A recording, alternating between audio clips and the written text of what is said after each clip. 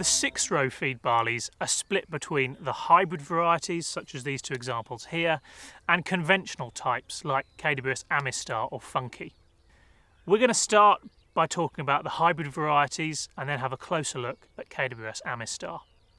The first thing you'll notice about these hybrid varieties is that they are a much taller, bigger, more vigorous crop of barley. Uh, and that comes down to the heterosis or hybrid vigour that we get with this breeding technique. Hybrid barleys, such as this one SY Kingsbarn, will consistently out yield their conventional counterparts. Other advantages of hybrid crops, as I say, are that significant vigour, which allows for later drilling of our hybrid barley varieties and also provide much greater competition to grass weeds. The mainstay of hybrid barley varieties in recent years has been Bazooka at the end.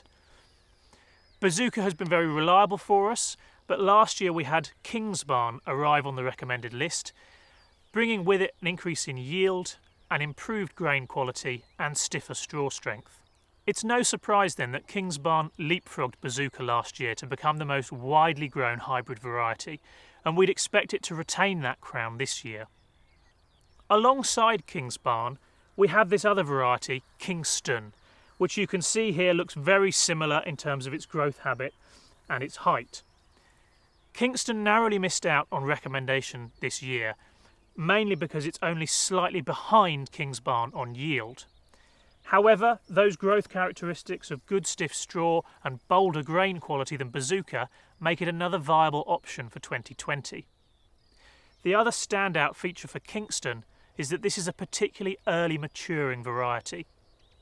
All hybrids tend to be some of the first crops to come to harvest, but Kingston is the earliest of the lot, which again could help us in situations where there's a lot of fields to get harvested and spreading those harvest dates is of benefit.